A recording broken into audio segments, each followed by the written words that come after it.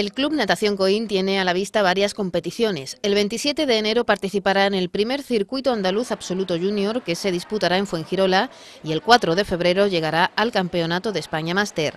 Los nadadores se encuentran ahora en plena preparación específica de las pruebas que tendrán que realizar durante cuatro días de competición. Nadamos este fin de semana pasado y la verdad que muy buenas marcas, han superado algunos sus mejores marcas de todos los tiempos.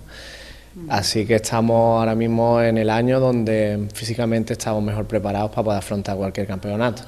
Entonces lo que queremos ahora es hacer alguna marca más para poder participar en el Campeonato Andaluz de Invierno Infantil, que estamos ahí a punto con un par de nadadores, y bueno, establecer alguna marca también para el verano, para los campeonatos de verano, etcétera.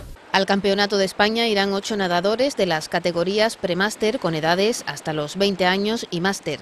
Asimismo, participarán en las pruebas de relevos de las mismas categorías. Un grupito compacto que se ha creado este año, un proyecto súper ilusionante ¿no? y lo han cogido con mucha motivación y a la vista está. Estamos el número 19 de 54 clubes máster que hay en, en Málaga entonces, en la última competición nos hemos clasificado el 19, siendo el primer año que hemos competido ahí. Y esperamos en futuras ediciones aumentar filas, añadir más féminas a nuestro grupo y poder rascar un poquito más arriba lo que es el podio. El Club Natación Coín ya trabaja con vistas a los próximos campeonatos que se celebrarán en verano, como el andaluz o el nacional.